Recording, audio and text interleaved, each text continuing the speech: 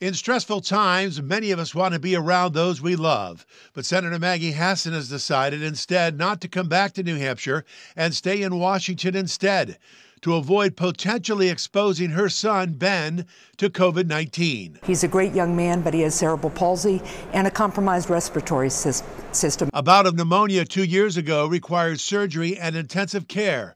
For Ben, coronavirus could be devastating. To me, this whole issue of social distancing is about much more than just making sure each of us doesn't get the virus. It's about unknowingly transmitting the virus to somebody who's at really high risk, like my son Ben. Hassan says those most at risk could require multiple healthcare providers and expensive specialized treatment that could overwhelm the medical system at a time when supplies are limited. We are seeing in New Hampshire, uh, our healthcare professionals are asking for contributions, yeah. donations of personal protective gear. That's unacceptable. It's especially unacceptable in our country. Hassan is pushing for President Trump to implement the Defense Production Act he invoked this week. We have manufacturers who are slowing production. We have workers who want to be on the front lines and help. And she says when you think of social distancing, think of those most at risk, like her son Ben. And Hassan says it's important for everybody to keep their distance from each other